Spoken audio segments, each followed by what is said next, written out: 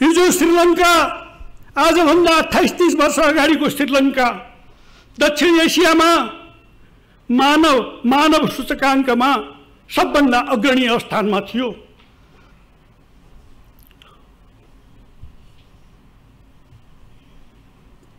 प्रभाकरणको नेतृत्वमा तमिलहरू जो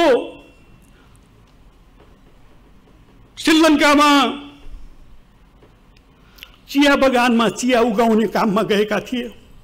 उनीहरूलाई ए हाम्रो छुट्टै राज्य हुनुपर्छ भनिकन जाफना प्रायद्वीप वरिपरि आन्दोलनहरू ठुलो आन्दोलन भयो।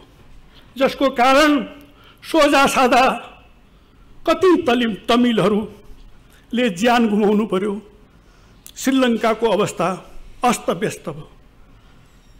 आज कैलाली जिल्ला कैलाली जिल्लामा थारू राज्यको मागको कारण कहीँ भोलि सोझा सिधा थारूहरू द्वन्द्वको चमेटामा मुछिएर उनीहरूलाई असहिलो पर्ने कुरा हुन्छ कि भन्ने चिन्ताले सताएको छ?